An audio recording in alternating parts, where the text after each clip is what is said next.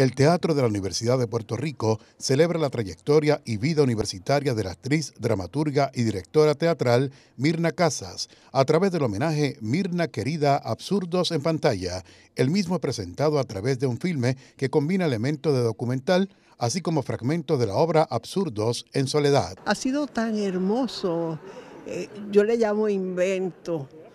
pero realmente pues tengo que agradecérselo, por ejemplo, primero a Rafa, a Rafa Chávez, que fue el que lo ideó todo, a Rosa Luisa,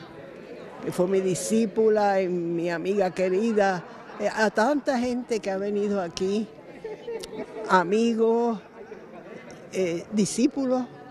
discípulos, y Dalia Pérez Garay, Florita, eh, Lisandro, que también trabajó varias veces conmigo, este, discípulo tan y tan querido Carmelo Santana. El largometraje se presentó al público universitario hoy en un cupo limitado en el Teatro de la OPR.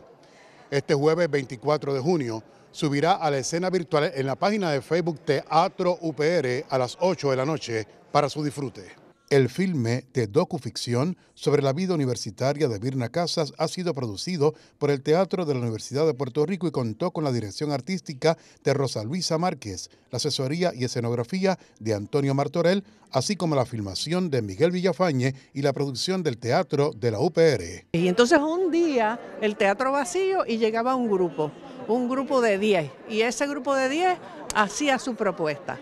Y otro día venía otro y se trepaba allá arriba al mezanín y hacía su propuesta. Y así poco a poco fuimos armando el muñequito, tomó tres meses. Ella es nuestra imagen y ha contribuido a crear eh, lo que somos,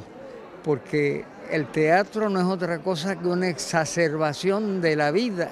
y a través de estas cámaras podemos llevar el teatro a la casa marca historia la celebración de la vida de Virna Casas en el Teatro de la Universidad, el lugar donde ella enseñó y dirigió teatro durante 30 años. La primera vez que se abre el Teatro de la Universidad después de la pandemia y poder celebrar a Mirna con ella